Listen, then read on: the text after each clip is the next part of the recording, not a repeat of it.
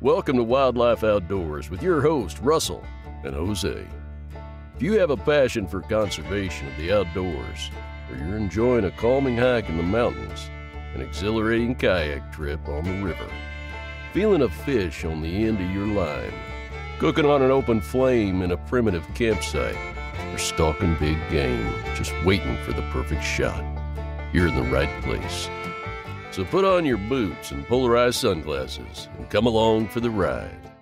Welcome back to the podcast, guys. It's Russell here, back with my co-host Jose, and uh, we got an episode today talking about Jose being successful on his first carp. You want to tell us about it, Jose? Uh, yeah, man, sure. So, um, in case maybe you're new and you haven't heard in some previous episodes, I have been trying to catch a carp on the fly for the longest time. Um, common carp, grass carp, didn't matter. If you've seen the video, if you follow us on on Instagram or my personal page, I posted a uh, a story to to my page and um, mentioned that it was like my first carp. I guess technically that may or may not be true because I did catch a koi once before. I forgot about that, but I was just so excited and caught up in the moment. I just that was just the first thing that came to my to my mind. So my first carp in Texas for sure, and yeah. my first carp, I guess, of what would be considered the uh, more common species one could find here in Texas. I don't see koi fish or I don't see koi um, really ever. Um, so yeah, so I was pretty excited, man. So how it all started was I had to bring my buddy to the airport in Houston, and so I decided that I would take the opportunity to uh, maybe do a little bit of fishing around Houston, and because I don't I don't get to go there often. It's a little bit of a drive, a little out of the way since I, I live in College Station. I fished there before a time or two with my buddy, um, and have done pretty well. Not for carp specifically, just in general. We went to some places around there, and I really enjoyed it. But uh, needless to say, it's not something I, I do very often. So um, I figured since I was already going to be there, um, I might take the opportunity to do some fishing. So I uh, actually I have a book right here. So the night before, actually not even the night before, I should have looked at it the night before. The morning of, I decided to look through this book that was written by my buddy Rob McConnell called Fly Fishing Houston in Southeastern Texas and it's an it's a fantastic resource for anybody who lives or fishes or wants to fish in and around the uh, Houston area. It's also a great read if you just want to read it. I mean, yeah. I I can't even think of a time that I would even be in Houston to go fishing. I really have nothing to take me there other than just fishing, and there's a lot closer places for me to go just for fishing. And so I don't foresee myself going there anytime in the near future. And and I've been reading it myself. It's a it's a very interesting read, and it's also very informative if you are going to go fishing in the area. Exactly. Yeah, and it's a wealth of knowledge. Like like Russell said, even if you don't fish in Houston or plan to fish in Houston, I think one could stand to learn quite a bit just skimming through the pages. It's really well written, really well organized, easy to navigate. It was pretty awesome. So I'm not going to name any water bodies because I don't want to spot burn, even though they were mentioned in the book. I guess that's one more reason to check out the book. But there was a one particular water body that was mentioned in the book for carp specifically that I wanted to check out. But um, I, as I was skimming through, I had briefly read um, that it was like supposed to be better fishing in the winter or something like that, or maybe it was that specific reach, or maybe I didn't read enough context as I was just skimming through really quickly while I was waiting for my coffee to uh, to finish up. And so I was like, man, so I just I just scrapped the idea of going there kind of altogether. I figured I might go check it out as a last ditch thing, but it wasn't um, something that I was going to do like immediately. So I figured that, and it was, and you know, it's Tex in Texas is getting freaking hot right now. It's heating up so bad.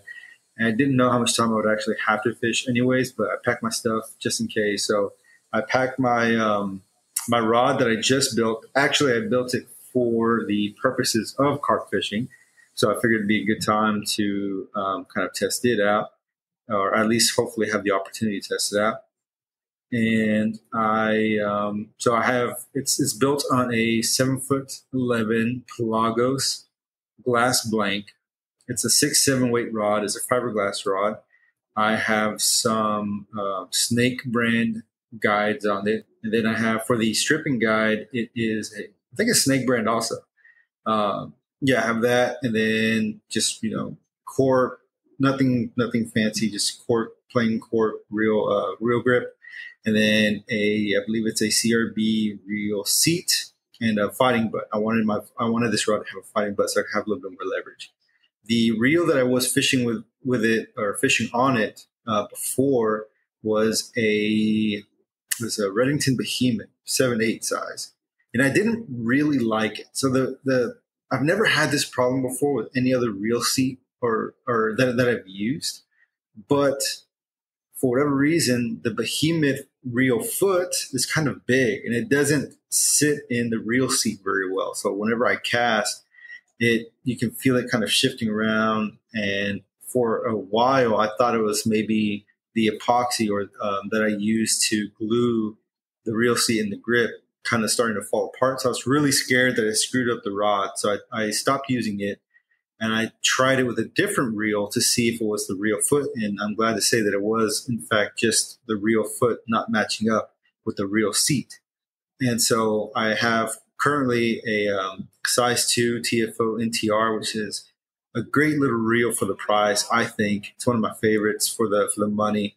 Uh, I think it's really hard to beat, and uh, and so I'm going to probably buy another NTR specifically for this rod. I just ripped that reel off another rod that I, that I had, and it has um, some six way Airflo uh, power taper line. I think it is not really a trout or sorry carp line, but um, it's all I had. So just put that together. I grabbed some carp flies um, that I've tied, put them in my bag, threw it in the truck, drove to Houston, dropped him off, and then um, I actually drove straight from the airport to Bayou City Angler.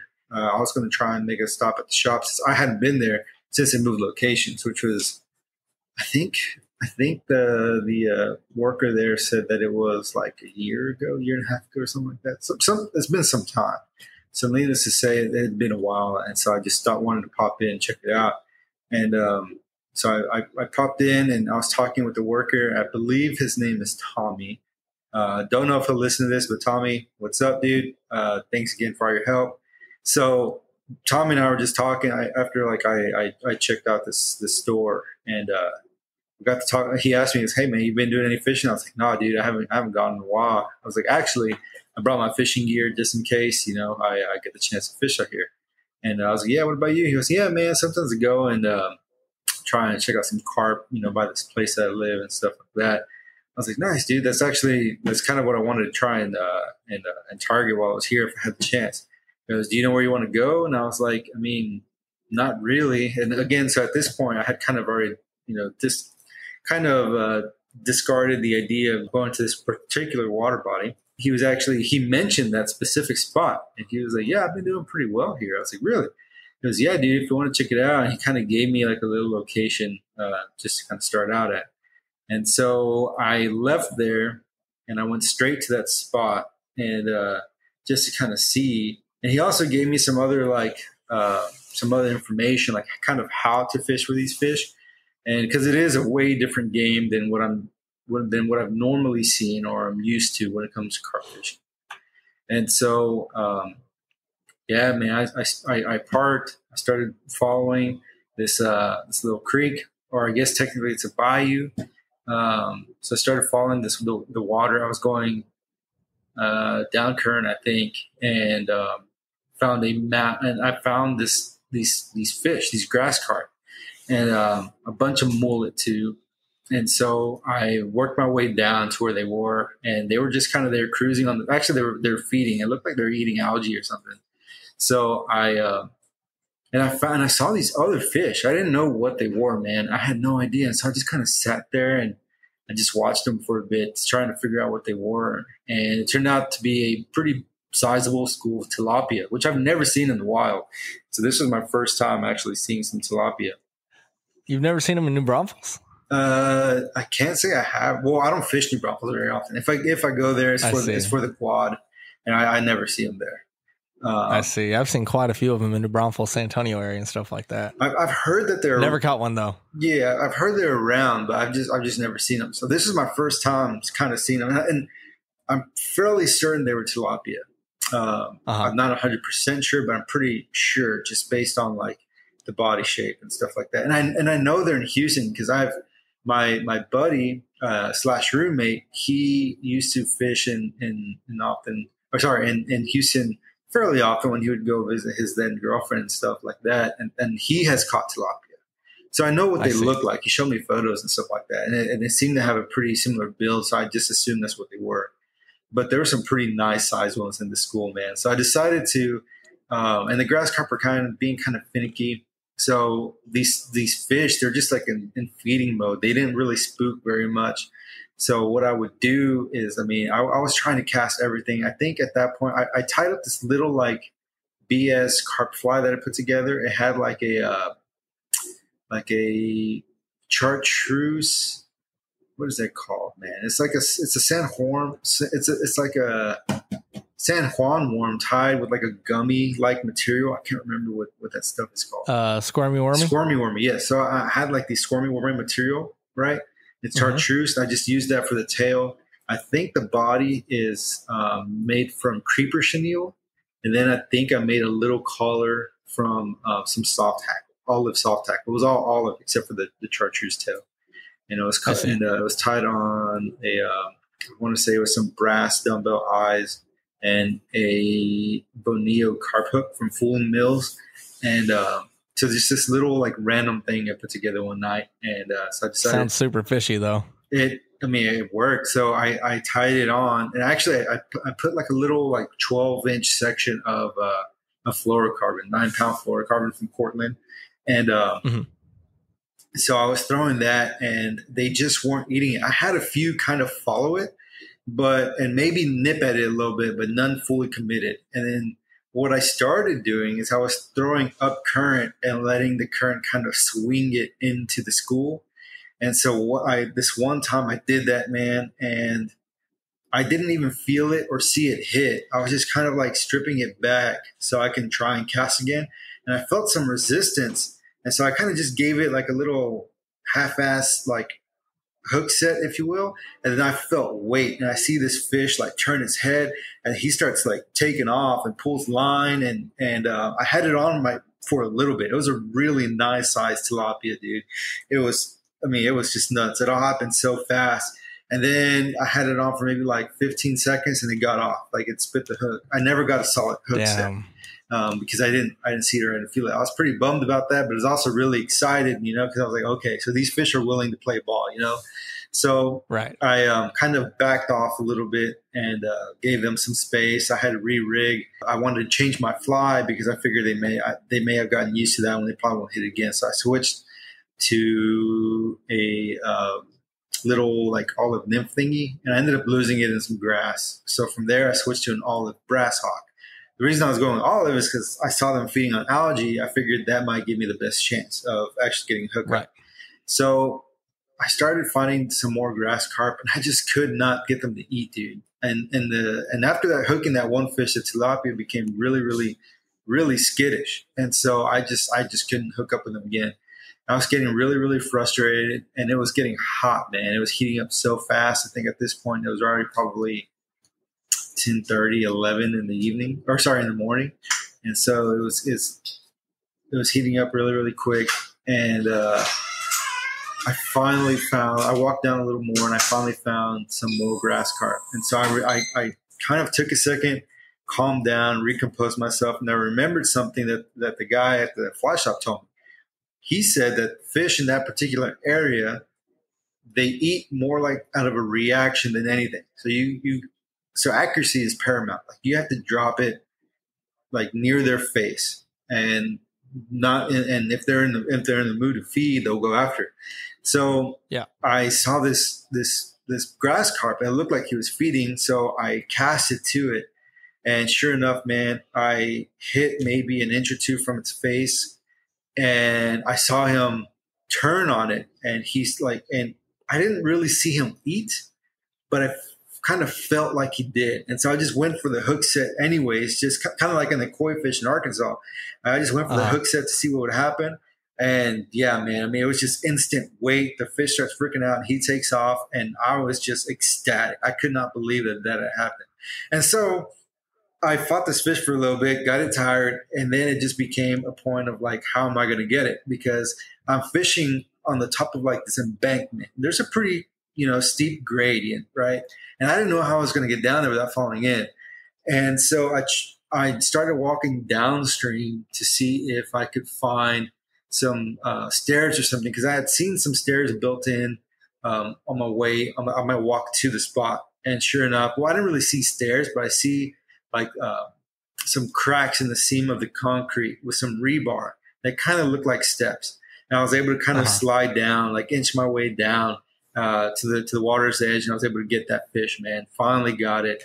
I was super pumped, and it was kind of funny because on my way downstream, I was it, was, it, looked, it looked like I was walking a dog. Like I had my rod bent over, and this this poor this poor carp was just kind of cruising along. You know, I felt I felt bad, but that was the only way I was going to be able to get it.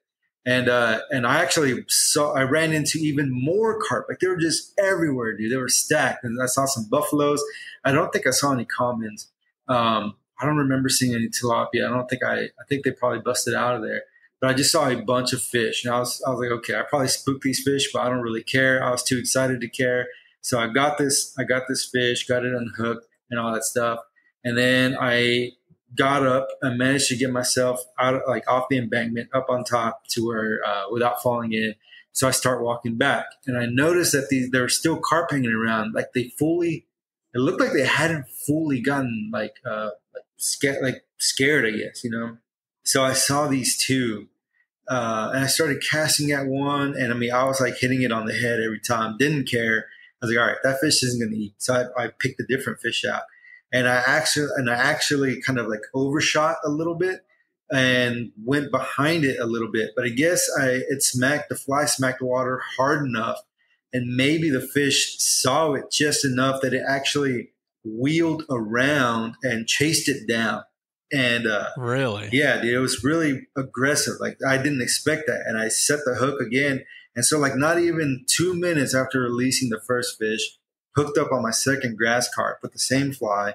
And um, even after like walking it through there, it didn't spook or nothing like that. I was really, really surprised. Couldn't believe it. Fought this fish. I, I went down the same way that I, that I went down for the other one, but I um, and and again, like kind of I mentioned, if any of you listened to our our previous podcast with uh, with Josh or, or Vic as we called him, I mentioned how I I have since lost so many fish that I carry nets. Well, I didn't bring a net, and so I uh, I didn't bring a net. And uh, actually, I take it back. I did bring a net, but I left it in the truck. And so I uh, grabbed the line, the leader rather, and it broke at the knot where I connected the fluorocarbon tippet to my main leader, and uh, which is fine. Like to be honest, those grass carp kind of stink, and I was and I didn't want to risk, you know, getting like going to the canal, so I was cool with just you know letting it go that way. So um, after that, I just reeled up my line and called it a day. It was by this time it was probably noon, twelve thirty something like that. And uh, it was just so hot, man. It was so hot. Actually, I called you like as soon as I got that that, that I hooked that or lost that fish rather. I uh, I called you and I was like, bro, and I was so ecstatic, man. And um, dude, you were. Yeah, dude, I was out of breath from like all the adrenaline, like trying not to fall in and climbing up out of that steep embankment stuff. And uh, I found a little shade, a little tree that had some shade, so I just kind of stopped there and uh, drank some water, just tried to relax a little bit because dude, it was it was I it was hot. And I didn't take into consideration the effect that the sun would have with the concrete. Like I could feel the wa- the heat radiating off the concrete, and I I didn't think about that, and so yeah. I didn't realize like how hot it actually was, how hot I actually was. I was like sweating through my shirt. I mean, I was it was it was not a good situation. Probably, I, I, was probably not too far off from like heat exhaustion or whatever because I felt at one point like I wanted to throw up. That's also because like I hadn't really drank much water that day, or I hadn't eaten breakfast either. So I just it was not a good situation really going into it. There are certain things I would do different now if you know, well, actually not if when I go back. And so, um, but yeah, so after that I walked and then I you know got in my truck, went to this little restaurant and uh, just sat there in the AC, ate some food, drank a lot of fluids, trying to recover. And uh, but yeah, man, that was my little my little trip, my little quick trip carp fishing in Houston. And uh, after that, I went to Gordy and Sons, which is another fantastic little fly shop. And then uh, I went back to Bayou City, and and, uh, and I was like, and, I, and, that guy was still working. I was like, dude, I had I had to shake his hand. I was like, man, thank you so much. Like be, be, between him and the information he provided, in addition to the information that was provided by by Rob and that book, I was able to be successful on my first trip, actually like canal fishing in Houston. So um, I can't say enough good things about this book and its uh, ability to be a good resource for urban anglers, and uh, also the just the awesome service and the awesome uh, people who work down at Bayou City Anglers, like stand-up guys, like no BS, um, super willing to help. Just some, you know, just a stranger, some dude walking in the shop. So I can't say enough good things about those dudes in that shop. So it's a, it was a pretty cool trip, pretty quick trip, but one well worth it. Caught my first two grass carp, and I'm super happy to say that the rod performed as good, if not better, than I was hoping it would. Uh, I freaking love it, and uh, and uh, actually, I'm planning on building another rod in the future.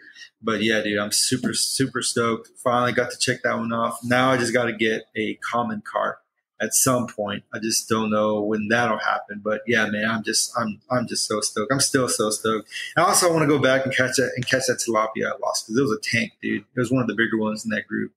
Um, That's awesome. Yeah. I want to catch tilapia so bad. I've casted at so many of them and just have been unsuccessful. I've never casted at them on the fly though. This last time I was over there fishing, um, I want to say it was probably maybe 2014 or before. Oh wow. Um, okay. And so yeah, I was I was out there bass fishing. I caught you know a few largemouth, a few spots out of the bottom of the water that I was fishing, and I was, if I'm not mistaken, was throwing a a baby brush hog or a oh, Senko yeah. um, Texas rig. So uh, I was catching bass on that, and I just don't see tilapia eating that for some reason. I just I, I don't really know what they yeah. eat to be honest, but um, they didn't seem interested in the slightest at what I was throwing. So but I do want to. Yeah, so today I started looking up a little bit about different uh, tilapia flies, and so I have an idea of what I want to what I want to tie, and it's essentially what I'm going to do is a modified Rio getter because tilapia's mouths, from what I've seen, they're I guess they're kind of small, but but they eat like algae. I saw them eating algae, so I'm probably going to tie like a really small, like maybe size eight or ten, um, olive colored fly, probably with that little chartreuse squirmy wormy tail again, and uh, and just see if I can get one on because that seemed to work pretty well. They didn't like any of the other flies that I tossed at them, so um, I'm just gonna take. I'm just gonna I'm just gonna utilize some parts of the fly that did work, but scale it down and see if maybe yeah. that'll that'll that'll make it a bit more appealing to them. But yeah, dude, you need to come, bro. You need to come. I need to. Again, we're gonna go fish the canals. I think you dig it. It's a it's a different game for sure, but it's uh, it's pretty neat, man. Urban fishing is underrated. I think. Um, I haven't done too much of it, but I want to. It's well, yeah. So I don't get me wrong. I love fishing the hill country. I love fishing in like more natural places. But if you mm-hmm. live in and around Houston, if that's all you got, I think you have some untapped potential in your fingertips. And that goes for any place, like uh, San Antonio River, for example. Dude, I have a buddy. Uh, maybe we can get him on sometime. But uh, and hopefully we can get Rob too, man. Uh, I think Rob, Rob's a cool, really, really cool dude. This is the second book he actually wrote. The first one was Sam Houston, uh, fishing the the Sam, fly fishing the Sam, yeah, fly fishing the Sam, which is also another great resource and uh, another really cool little fishery. I think it's one of Texas' best kept secrets when it comes to um, fly fishing. It's it's freaking fantastic. One of my favorite places to go to. But he's, I mean, I think he'd be a great, great guy to have on the podcast. But uh, what was I saying? Oh yeah, so urban fishing. So yeah, I love fly fishing the hill country. I love fishing natural areas, but you know, if, if you're in the city, like I think there's some untapped potential there, especially in Houston. I mean, I yeah. It'll it, also be a nice change of scenery for those that are always out in rural areas. You know, yeah. Um, I think that's I mean, what's so appealing to me is uh, that I want to do some urban fishing, and I also want to go to South Florida and fish some ditches and catch some exotics. You know, it's just it's a change of scenery. Urban fishing in Florida is going to be yeah, like peacocks, man, Mayan cichlids, jackknife, jaguars. Yeah, I mean, like little even even tarpon, like baby tarpon, make their ways into like the the canals and stuff there too, dude. Yeah, urban fishing, Florida, it's got to be some of the coolest fishing, urban at least urban fishing that you can do, dude. It's freaking. We got to go do that. Granted, too. majority of them are invasives, but I mean, but dude, um, almost- I mean, they're, they're I would say they're naturalized Almost- at this point. yeah. So, I mean, in, invasive, exotic, like they're terms that are used often interchangeably, but they have different meanings. Um, exotic just means that you're they're pretty much like non-native, but that doesn't necessarily mean that they're invasive. Invasive just means like they can cause economic damage as well as environmental damage and stuff like that. Um, and so I don't. I mean, peacocks could be considered invasive. I'm not really sure on their ecology and what their role is in the systems in Florida. Uh, they very well, yeah, and how they impact indigenous species Yeah, and whatnot. exactly, and so they very Yeah. well might be, but um, but yeah. So uh, I guess uh, an example of an exotic species that is not native or not really invasive, uh, or I guess a naturalized species now uh, that's not really invasive. Actually, largemouth, like Florida strain largemouth, um, I think Uh-huh. are technically considered uh, naturalized because they're not really native outside of their Florida range, from what I understand.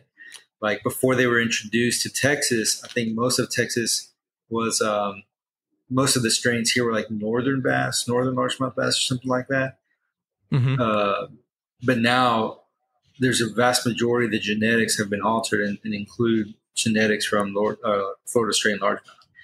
I yeah, think, and I know a lot of people will stock Florida strain just for the good genetics and the size. yeah, because they get mass. Um, and obviously, you know, they'll interbreed and whatnot. People put them in their ponds. Ponds get flooded, or uh, if they do breed, then eggs get carried by birds and other other animals. And so, yeah, it's kind of a a big thing that's that's uh, Yeah. I, I, I would say naturalized though because it's not really hurting the indigenous species of bass. brown trout too. Yeah. Brown trout is another one. There's a lot of areas Yeah. that uh, most people think they're native when they're not, that they're introduced Pheasants for recreation. pheasants, I believe, come from Asia, but they've, I mean, they're all over. They're a really popular game bird now. And they, Mm-hmm. I don't see them going anywhere. So, um, but yeah, so there's a, and I'm not a geneticist. My, the, the degree I'm working on is not in, um, like invasive or exotic species ecology, nothing like that. This is just from my limited understanding of, um, of those terms that you know that we discussed whenever I was going to school. So and and um, so yeah, so I could be rusty, I could be wrong, very very likely wrong, but those are that. But to my understanding, that's just how it goes. At least for largemouth bass, I need to do. I do want to do more research just for my you know own personal understanding because I think that is a pretty interesting to- story. Um, uh, but yeah, anyways, so urban fishing. It can be a really really cool deal. And uh, if you ever if you're in houston like if you go there for work or if you have family members or friends that live there and you visit them every so often i think it is worth checking out. And if you're gonna check it out check out rob's book as well. I think it'll it'll point you in the right direction or at least give you an idea. And uh, i wish rob was here to discuss this because i know that there are a lot of people out there who do not appreciate having uh, spots burnt. You know, like they don't like spots Yeah. being discussed online and stuff like that. And I'm kind of that way to an extent. But I guess the way I think about it is that just because someone knows of a spot doesn't mean that they can be successful. Like they don't. That doesn't mean that they know how to fish it. I think that's exactly. Every spot is different in its own. yeah, and I, and I think uh, I think that's what makes the difference, right? And so with this, Right. and so at least with fly fishing the salmon, I think he's done the same with this book. Is he doesn't he gives like locations for people to start, but encourages them to explore, if that makes any sense. Like he's not really burning spots. Like if I mean, if you drive through Houston, you've passed by these places, and just because you know these places doesn't guarantee you're going to be successful. You still need to learn how to fish for those fish in that spot. You know, maybe they're super Exactly. skittish in that spot more so than than in others. you know, and and so I know a lot of people get all butt hurt. I think he met a little bit, uh, or may have ruffled some feathers with the release of this book, and I think it was kind of the same for Aaron Reed and his book uh, in the hill in Austin, the surrounding hill country. Yeah. But I mean, I don't know, dude. I I personally think it's pretty cool that someone has gone through all the legwork to do this, and to just to give it um, a resource to people who are interested. It doesn't guarantee their success. It just gives them a place to start. That's just right. my personal and, and the way that they're formatted, uh, in my opinion, is so I, I haven't read Aaron Reed yet. I have it. It's sitting over here on the couch behind me. Um, I haven't read it yet, but I have read uh, Rob's book, and there that's actually part of a four book series. There's going to be two more two more books coming out. Uh, I don't remember the titles of the other two or who the authors of them will be, um, but it is going to be a four book series. Um, but the way that they're formatted is more for getting people out, getting them to explore, and a lot of the places that are gone into detail about from what I've seen are places that are well known places as yep. it is. They're not like little honey holes where it's like, okay, where you're going to go behind this tree and take this curve, and that's the spot where you're going to catch this species. Exactly. It is very detailed. Yeah. But it's not detailed to the point to where it's going to burn honey holes. They're well known areas and areas that people pass every day. Exactly. And actually, a, a, a, like case in point from my own personal experience with this exact, like what you and I are talking about right now, so when his first book, Fly Fishing the Sam, came out, I bought it. And there was a spot that was maybe, I, I don't know exactly how far it is from our place. I, would have to look, but it, it was one of the closer spots. So me and my buddy went down there one day. This was during the whole virus lockdown stuff. We went down there one day and we got there based off of some information he provided in the book. But when we went, we only caught I don't know, between he and I, just a couple of fish. It was still a lot of fun. We explored a pretty cool little reach. But, and we actually made a post about it on Instagram. And Rob himself contacted us. That's kind of how we met him. And he invited us to go fishing with him at that same spot. Mm-hmm. So when we went that next time, he showed, like, we went the opposite direction of where my roommate and I had gone by ourselves. And not only that, but he he himself kind of gave us some pointers like where to cast, what to look for, what kind of flies to use, stuff like that. And our success on that trip was astronomical compared to what we had beforehand. So that's a perfect example of like just because you tell somebody where to go doesn't mean they're going to do well.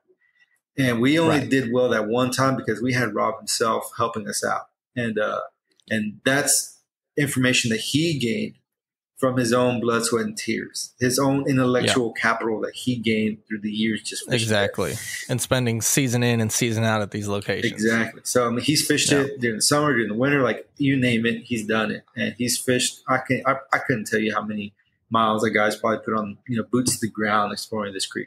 So yeah, we need to get right. him on. I'd love to get his opinion on that because it seems to be a hot topic. I've noticed whenever books like this are being released, a lot of conversation um, it's it's pretty interesting to me. I think, and uh, and it kind of also like begs the question. So I don't know if you've have you ever heard of another podcast, Russell, called uh, Cut and Retie with Joe Cermele? I have not. It's a it's a so it's it's a fishing in general. It's not like fly fishing specific or conventional fishing specific. He uh he you know they talk about everything fly fishing, offshore fishing. Like it doesn't matter as long as it's fishing, right? It's a really good podcast. Joe Cermele is a fantastic host. Like that dude, uh, man, he's he's so great. I, I enjoy his style, and it's really interesting.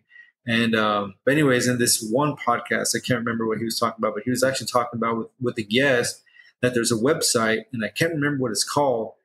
But what that website would do is um, it, it's kind of I, I I'm to probably butcher it, but they talked about selling information. So, so they would sell like, you know, they would, they would sell waypoints, right? Like mm-hmm. for sending for like $75, you'll get like a package and the package includes so many waypoints, information about the, the, the lures to, that they use, how to use it and all that stuff. To me, that's a little bit different than what these books are. I don't necessarily like that idea per se, It sounds um, kind of shady. It's like a black market. Yeah, just the way that and it, it's and kind it, of. Uh, it sounds almost hypocritical because these two things are almost like conceptually, right? Conceptually, they're a little similar. Like they're yeah. they're aids to help fishermen and stuff. But at least with the books, in my opinion, they I think allow for your own personal growth as an angler. So they just gives you like like we said before, just a place to start, and then from there right. you can go and figure it out yourself. Whereas with this other thing, like for example, I think they, I think an example they use, like there was a, a, a, person there selling a package where they had so many waypoints, including the exact waypoint where they hooked like a nine plus pound largemouth or something like that, and what they used to catch it or something to that extent. That seems to be focused mainly on profit for exactly. them though. And and I think exactly. that's the thing for me is okay, you buy a book for 20 30 dollars and you you have some personal gain from it. You learn some things you wouldn't have learned and it gives you some information as opposed to okay, you give me $75 and I'm going to tell you exactly where I caught this fish using what. It just seems a little more shady. Yeah to to be offering that instead of in the form of a book and an educational way to get information across. Exactly. To me, to me, these two things, these two mediums are very different. To someone else, oh, for sure. To to someone else, they they might seem similar, and I can see how one would one would think they're similar, but I don't know, man. Conceptually, to me, like yes, like conceptually, they're very similar in ideology, I guess, but in in terms of function, I think they're very very different. And uh, but yeah, Agreed. it's just I don't know, man. I just found that to be interesting. But anyways, um, like I said, Rob's just a buddy. Hopefully, I'm, I'm going to talk to him. Hopefully, we can get him on on board. He can. Uh, I'd love to ask him these questions and get his input. And he, I know he's done a few interviews already uh, when his book was being released, uh, mm-hmm. first being released with some on some other podcasts. And uh, I don't think actually we, we we did have have ours up and running on the release of the book, but we weren't really like not that we're big now, but at least we have more listeners now than we did before. So I would right, right. I was just waiting for a better time to, to have him on. But I guess now would be a good one. So I'll reach out to him. But uh, yeah, man. Anyways, awesome book. Check it out. And uh, you can get it on Amazon, right? Yes, I believe so. Amazon. I, Do you I, know if it's at Barnes and Nobles or anything like that? Books of America. I, I want to say it's on Barnes and Nobles, but I, I, don't know for certain. Uh, I see. Yeah, I got mine on Amazon. So yeah, I uh, this is my first time using the book in that capacity. I've skimmed through it before, but I, I can tell you now that it is certainly worth it from my own personal experience. Like the information is pretty good. Uh, yeah. But yeah, man. So long story short, I guess that's how my my carp trip or fishing trip in Houston went. I just I just stuck that's around freaking awesome for a little bit. Went back home. That was a really long winded explanation. Sorry sorry uh, to our audience for making it longer than this should have. But uh, dude, low key, whenever you called me, so I had just gone through the uh, drive through of Whataburger, and I, I, was already in a great mood because of that. Because you know me, I love Whataburger, and I don't have one close to me here in Arkansas, and I've been working in Mississippi, and there's one there close to where I'm working, and so uh, I got it yesterday, and I got it again today, don't judge me. Um, yesterday I just pulled out of the drive through Whataburger and you called and I was just like, all right, so I'm going to answer whatever. And then I hear you breathing heavy and immediately what went through my mind is like, oh crap, are you okay? Like, like what's going on? And then you're like, dude. And I was like, okay, this is a good heavy breathing. and, and you were so freaking stoked. I swear I could hear your smile through the phone. I was so excited for you. Oh man, I appreciate it. Yeah, dude, I didn't even know what to do. Like, but I was like, I just got, I got to call Russell. so, dude, that's freaking awesome. I'm glad you finally got on your carp. Oh man, that's awesome. I, so I, the only times I've ever seen grass carp are um, in urban areas or in like ponds and stuff. So there's a little uh, uh, burger shack kind of close to where I live, and there's a pond at a residence behind it, and there are some huge grassies in there, and it's like, oh, I want to cast at them so bad. So, so, but yeah, I've, I've never had the chance to cast at them before. Yeah, so I've only briefly looked into this. So forgive me if I've mixed up some facts and things, but to my understanding, grass carp are are actually invasive. Like I think in Texas, if you want to stock them anywhere, you have to get a permit, a triploid permit or something like that. And essentially, what mm-hmm. they are, they're they're essentially um, sterile carp, so they can't reproduce. Yep. And uh, and certain waterways have them. And if you catch and and there's a there's a, a website at Parks and Wildlife where you can see, I guess, where they've been released, like um, where triploid permits exist. But mm-hmm. from my understanding, I, I looked at it earlier, is that if you catch a grass carp outside of an area that has a triploid permit, you have to dispatch them. They, really? Yes, they encourage you to kill them uh, by removing their guts or killing them, whatever. They just, they just essentially, you just cannot release them. Once you catch them, you can't release them. And uh, so in this part in Houston, I believe where where I fished, I believe it was near a location that had a triploid permit. Um, mm-hmm. But yeah, so it was. I'm not. That's something you might want to look into. I didn't know this before going into it, and so yeah, uh, it might make things a little bit more com- uh, complicated. Now, common carp don't necessarily have that. Uh, common carp are considered to be invasive, although that can kind of be I guess it's kind of dependent upon the area. Uh, yeah. I don't. I think at this point they're more naturalized than they are invasive. There's actually yeah. a, uh, a, a, uh, organization um, in Austin that's big on like carp and carp fishing, and uh, I, I, don't think they're they're really invasive. I guess it can be, but uh, generally, where where we've seen them in our lakes and rivers and stuff, I don't think they are. Uh, right, and I guess the density of the population is is also yeah. makes a huge difference in a lot of areas. If they do get too dense, I can see how they'd be more. Uh, yes, exactly. You, know, you know, more dangerous for yeah. indigenous ecology. Yes, exactly. But grass carp can be so. Yeah, just a yep. little interesting little tidbit, but um, yeah, I've, and it's kind of funny because the grass carp I've, I've seen a few in some lakes and stuff around, and those things are really skittish, but these were not. I guess because it's in an urban area, they're just so used to seeing people and cars right. and all the noise and just all that stimulation. It's just they just kind of become immune to it, so they don't really scare that easy. So if this is um, if you're wanting to catch a carp and you're just not that good of a caster or kind of a novice or whatever, these fish are pretty forgiving. Or maybe it could just be that I caught them in a very good mood. I don't know. Right. But uh, yeah, well, I need to make a trip over there, and we need to get on them for sure. Dude, you do that. You do. Yeah, man, we got to do that.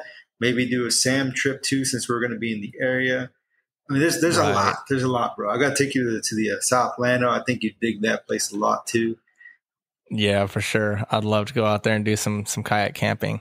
Um, speaking of which, I'm I'm going to be going on a kayak camping trip this weekend. Uh, nice. Uh, going out to Lake Ouachita to camp on an island. So no that's going to be fun. Yeah, dude, I'm so stoked. So, um, I got a couple remote design bags coming in. Ordered a couple roll tops and a 60 liter uh, dry duffel. Um, I believe they'll be here tomorrow. Um, and I'm gonna, you know, go out to an island, find some trees, uh, kayak out there, obviously kayak camping, um, and then camp in hammocks. Uh, ironically enough, I was looking up, you know, what we are going to talk about for this episode, and Saturday is actually National Hammock Day. So no way. I was like, ironically enough, that kind of works out. So I'm actually going to be hammock camping on National Hammock Day. Nice. Um, so yeah, hopefully we can find a good island, find some good spots to hang some hammocks and uh, camp out. Weather, when I looked at it last week, I think the weather was supposed to be 98 degrees, 80% humidity. Oh, um, that has since changed. So now it's 88 degrees and like 60% humidity. So um, hopefully, we'll get a little bit of breeze out there and it won't be too brutal. Um, but I'm excited nonetheless. I mean, Lake Ouachita's gorgeous. The islands are awesome. Uh, so I'm just ready to be out there and uh, go do some kayaking. So you be taking? Yeah, I'm gonna do that taking, this weekend. Taking your girlfriend and the kids. Yep. Uh, well, uh, the kids are going to be with their mom, and me and Ruth are going to go out. So nice. Uh, yeah, we're going to go out there, cook a little bit of dinner. We're actually going to go kayaking with one of my buddies up here um, kind of like a, a, double date kayak thing. Him and his wife, and then me and Ruth are going to go out there earlier in the day and Saturday, kayak around, go grab some lunch, and then me and Ruth are going to head back to the lake and um, go out to island to camp. So, God, dude, that sounds like so much fun. Dude, I'm stoked for it. I'm going to try to record it and document it. Um, I, I, I got this bug after watching Gatewood's channel so much. I'm like, I I need to finally start documenting trips, which I've most trips I take I record but I just never do anything with the footage. Yeah. And I need to change that. Like I have hours upon hours upon hours of footage just sitting on SD cards that I've never done anything with. mainly because I'm the type of guy like I'm a perfectionist. If I record something, I want to put out a good product.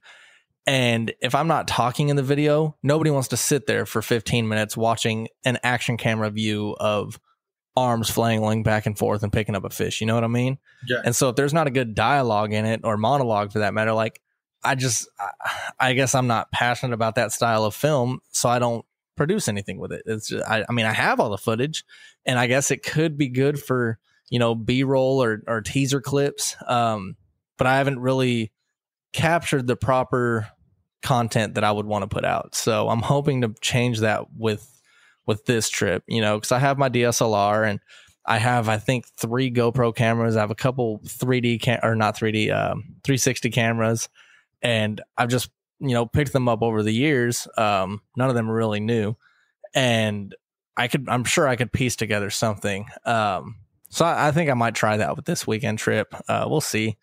Um, but more than anything, I'm just excited to get out there and do something fun. I mean, last weekend uh, was my girlfriend Ruth's birthday. And so prior to going to Van Buren with her and her family, I took her cousin out the day before on a fishing trip for his, uh, it was, it was like kind of a mixture of his high school graduation and birthday gift. And uh, so we hired a guide to go hit up some water and try to get on some smallmouth. and it was like raining all week and we're hoping that it was uh, the weather forecast showed that it wasn't going to rain too much after Thursday, so we were excited about that. Hopefully, you know things would calm down, water would get a little more clear.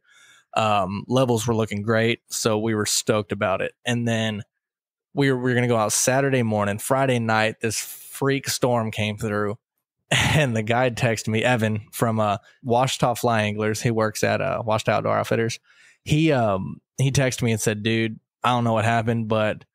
the river that we were going to go to went from two foot at the gauge to ten and a half feet at oh, the gauge. no. Completely blown out.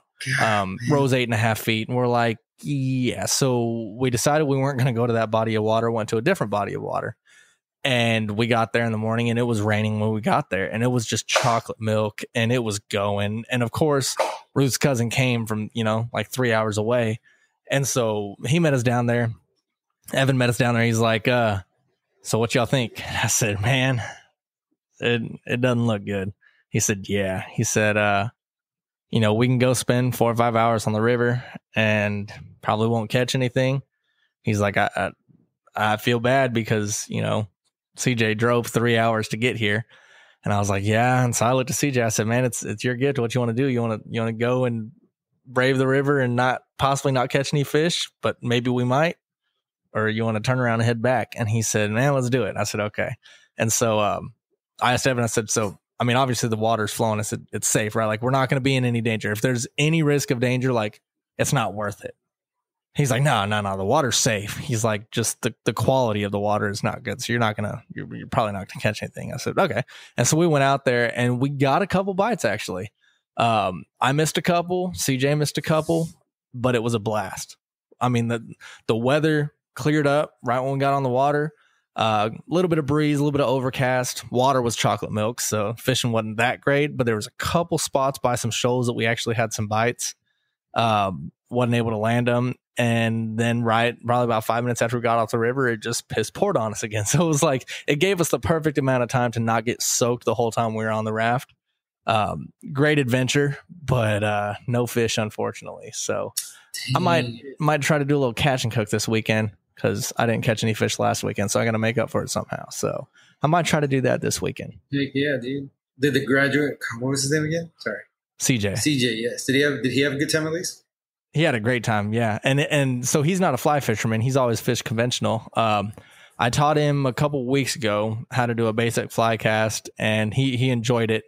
Um, he enjoyed the fact that it was more of an art rather than just you know flinging something out there. So um, he actually didn't he he fly fished the whole time we were on the raft and he just kept talking about on the way back to Van Buren how much fun he had and how much more exciting it is to be out there and he was at the front of the raft the whole time and uh yeah he he had a really good time so hopefully we can get out on the water again and actually get him on some fish um if the conditions are a little better but uh even for not catching any fish he had a really good time so I can only imagine when I get him on some fish what he's gonna think Yeah, that's so awesome, dude.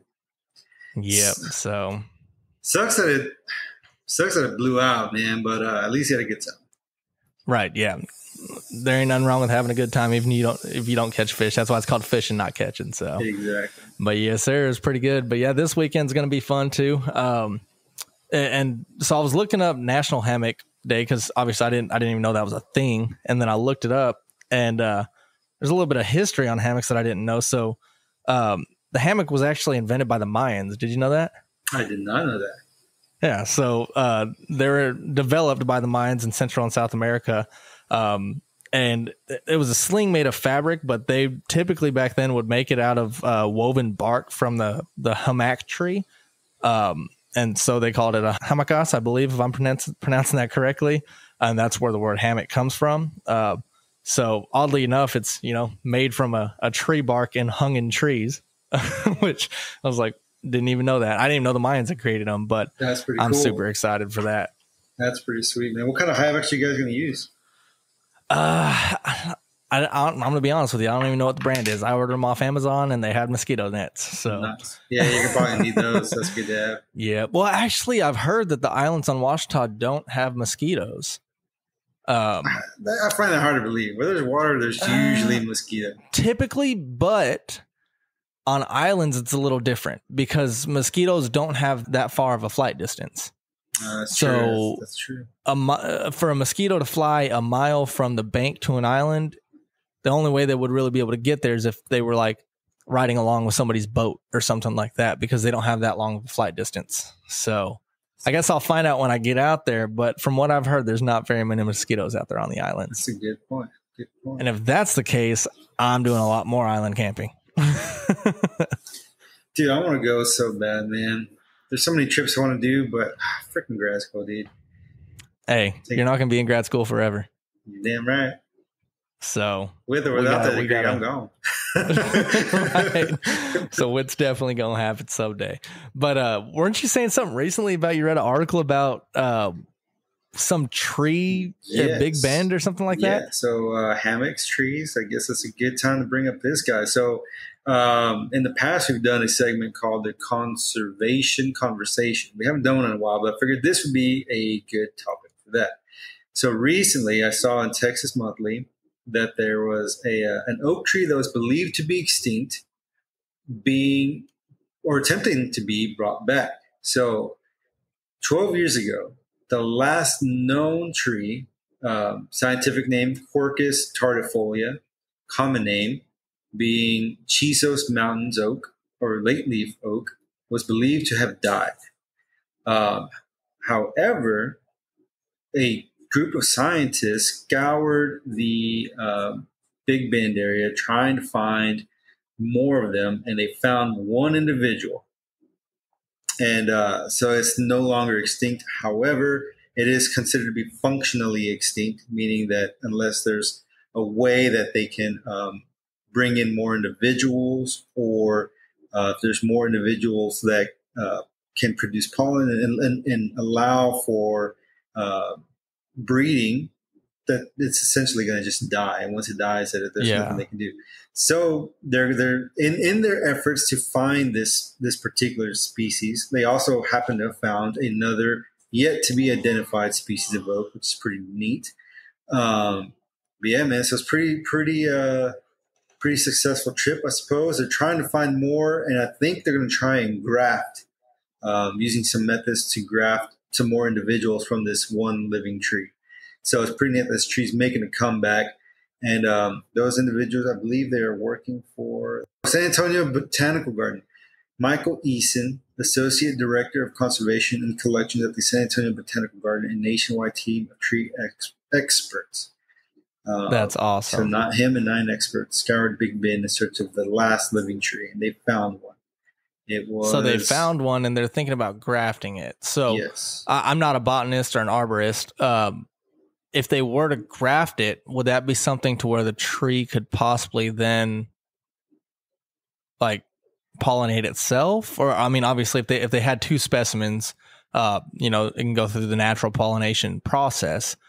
But with it being a graft of the same tree, do you know how that works? I did not. That's outside the scope of my hmm. understanding. I have no idea. Um, I think I know somebody who might know the answer to that. I'll have to ask them. Um, but yeah, either way, man, this is huge. This is uh, well, on top of finding an ex- a tree once thought to be extinct, they found a yet to be named species of tree. So it just kind of goes to show just how much is out there that we just don't know about, which I always right. find really, really interesting and fascinating. But um, dude, Big it, Bend is so huge too. Oh man, I mean, this the state of Texas is massive, and we've yet to explore every inch. There's so much out there that we don't know about, in the world in general. Like it's just, I can only imagine, man, how, what what it's out there that we haven't even just we haven't even like scratched the surface at. It's uh, it's pretty right, right. humbling and and uh, but yeah, so pretty cool. Um, this this tree can make a comeback, but uh, aside from that, I guess in, in, another in other conservation news, um, some pretty big news. So a also from Texas Monthly, a family turned down millions of dollars so they they can conserve or turn part of their ranch into um, a preserve essentially. So this family had 700 plus acres, and they were considering turning a pretty substantial portion of it into a subdivision, which would which would have uh, turned into some huge gains for them financially. I think a hundred and I forget what the figure was, hundred plus million dollars for them. Holy hell! Yeah, dude. I mean, a lot of money.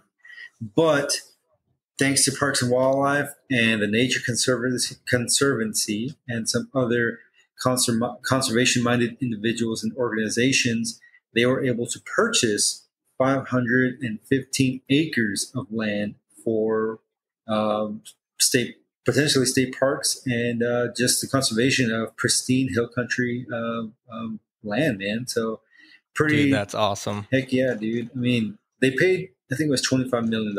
That might seem a little steep, but at the same time, you can't make more land. It is what it is. And the more exactly. that we can conserve, the more that we can preserve, uh, I think better. So I, you know, good on Parks and Wildlife and everybody involved. right. This is a huge win. Um, and I think it's it's pretty neat that these individuals were actually willing to turn down so much money. I mean, we're talking like life changing for generations type of money to exactly. help preserve this kind of land. And I hope, which I think is awesome. Oh, yeah, it's amazing, and I and I hope that this will um, inspire some other people to maybe hopefully do the same. Um, because yeah, at the at the rate of urbanization that's happening not only across the country but in Texas specifically, like the more land that we can we can conserve for future use, the better. I think. Exactly, and and from that family standpoint or those individual standpoint, how awesome would it be to own a piece of property that is directly next to a state park. Like you could literally just leave your house, ride your bike, be in a state park, or walk to the state park. Like that would be freaking awesome. Yeah. And to know that you did something that you you played a part in a new state park bring brought to the state and conserving some land. So uh I mean all around just great for I think all parties involved. Exactly. Pretty freaking awesome, man. It Pretty is for sure. Awesome. Well, I guess since we're talking about parks, uh, something I just read from Parks and Wildlife. This was from July 11, 2023. Texas state parks have been recognized among the nation's best. So, really? Yeah, apparently. So, um, let's see. The National Recreation and Park Association, NRPA, along with the American Academy for Park and Recreation Administration, have selected Texas state parks as a finalist for the 2023 National Gold Medal Award for Excellence in Park and Recreation. So I just think That's being awesome. a proud Texan and everything that this is a uh, pretty neat honor to hold. That is for sure. Although I'm not a native Texan, nor do I live in Texas anymore, I still take pride in my 18 years in Texas. So that's freaking awesome, man. That you do. You're the hard, most hardcore Longhorn fan I've ever met in my life. Hook 'em, baby. I'm I'm always gonna be a Longhorn fan. Although living in Arkansas for the past four years, I I haven't gained a soft spot for the Razorbacks, but uh, if it doesn't affect Texas in one way or the other, I, I do root for them. So you're gaining um, appreciation. Um, yeah, I'd say there's an appreciation for them. Um, I was at the Longhorn game uh, up in Fayetteville last year, and uh, had a time of my life. I wish the Longhorns won; they didn't. Um, but still had a good time. And I can't wait for 2024 to come and Texas to play Arkansas every year. along with A&M and Oklahoma. Like that's just going to be amazing. Those three teams are going to be on our yearly schedule again and I'm super excited It's for going it. to be wild. It's going to be wild. Yes, sir. Yes, sir. And I guess one more thing, uh, kind of in line with the whole parks talk. So, as of July 14, 2023, that's when this was printed in Texas Parks uh, webpage. If you like parks, but you also appreciate art, um, you can actually do both. Uh, so, the Art of Texas State Parks traveling exhibit is at the Houston Museum of Natural Sciences this summer, uh, and it will be there uh, through October 1st, I believe. The exhibit features paintings from more than of, of more than 30 parks from some of Texas's best artists.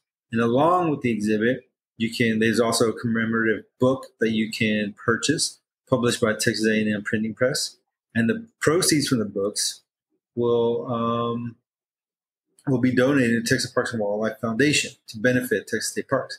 So that's pretty cool. I didn't know that. I wish I'd have known that while I was in Houston. Uh, so the Right. next time, I think I'm going to go check that out, man. Maybe that'll be a reason for us to to go to Houston. It. Although dude. I will be in Texas at the end of the month, I don't think that uh, Houston would would uh, be a, a stop for me. But maybe sometime in August or October, because I know October I'm going to be in Texas for uh, most likely two weekends. Um, I'm gonna try to make it to the Red River Shootout, and then we have that event. Well, those events on the 21st. Yeah. Um, so yeah, hmm, maybe maybe August might be a month that uh I can come down to Houston. Maybe we go check that out and then do some urban fishing. Hell yeah, man. Let's do it.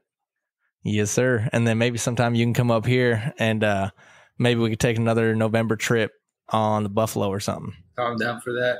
Also, I'm still trying to work out the uh, the logistics, but I'm going to try and meet you and hopefully Vic next weekend when you come down. Hell yeah, I need to get out of I need to get out of College Station for a bit, dude.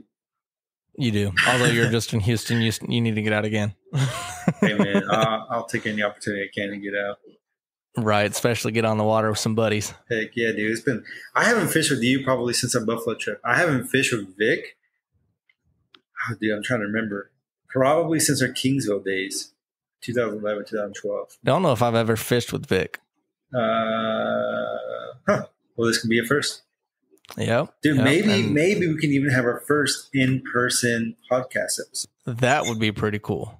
Uh, my computer is not mobile, so we would have to record on yours. That's cool. So, yes, sir. Mine doesn't have a screen. it's a it's a it's a Mac Mini, and I use my uh 75 inch in my living room as my monitor. So, uh, yeah, I can't can't take that with me. But as long as you can bring your your setup, uh, that would be awesome. That could work. But alrighty, well, thank y'all for listening and uh, making it to the end. And like we always say, please like, subscribe, share, um, give us any feedback that you have, whether it be positive or negative. Um, uh, we're we're real good at taking criticism. I'm sure both of us have had quite a bit of that in our life. So uh, feel free to reach out to us on uh, any of the Wildlife Outdoor socials or mine or Jose's. And uh, thank y'all for listening. Peace. This has been Wildlife Outdoors. Thanks for listening. Follow us on Facebook at Wildlife Outdoors and on Instagram at wild.life.outdoors. Let's go live life on the wild side.